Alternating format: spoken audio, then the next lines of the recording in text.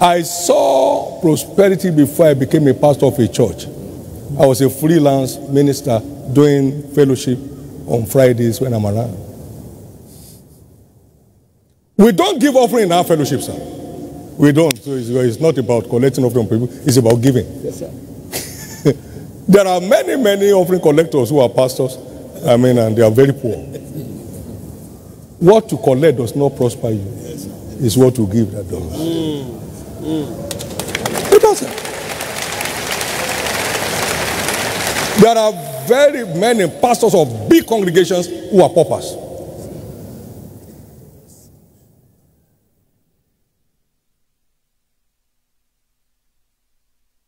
And he said to me, Get back home and make my people rich.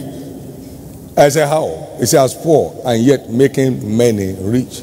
Don't look at you. You are not the source of what I'm asking to tell them. Tell them how to assess my riches in glory. Can I hear your amen? That's what I'm telling you this morning.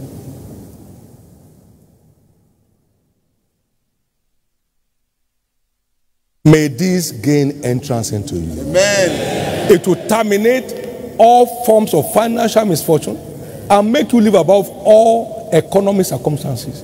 Above all. No guesswork. Above all. Some young people are running around saying that uh, there's nothing like tithing in scriptures. Sit down with your financial tightness. Sit down there, my friend. He told me. I heard him. And I believed him. And it shows. And it shows.